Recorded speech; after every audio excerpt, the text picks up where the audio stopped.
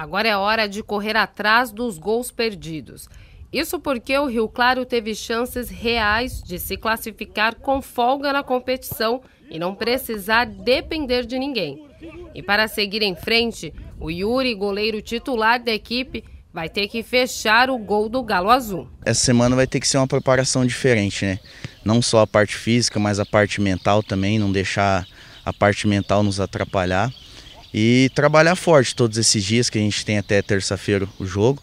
E na terça-feira a gente fazer o nosso papel, desempenhar, não levar gols e lá na frente também a gente conseguir fazer os gols. E para encarar esse novo desafio, a preparação do time vai além dos gramados. Para o técnico Adilson, a equipe tem condições de bater o adversário e aproveitar o jogo em casa. Só é preciso acreditar na vitória. Acho que a cabeça tem que estar boa, né? tem que estar confiante tem que acreditar, né?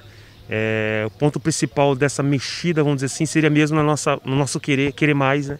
Aproveitar as oportunidades, querer mais. Os dois os últimos jogos que a gente fez, a gente conseguiu criar, né? Certo, no, no, no setor de criação, na transição, mas faltou a finalização, faltou aquela agressividade para finalizar, para entrar dentro da área. Agora é trabalhar essa semana, fazer a nossa parte, que é ganhar o jogo do 15 de Piracicaba dentro de casa. E se for para a gente classificar, vai acontecer, mas o mais importante é a gente fazer nossa parte agora. A atual situação do Rio Claro não é muito confortável, mas a tão sonhada classificação para a próxima fase da Copa Paulista também não é impossível.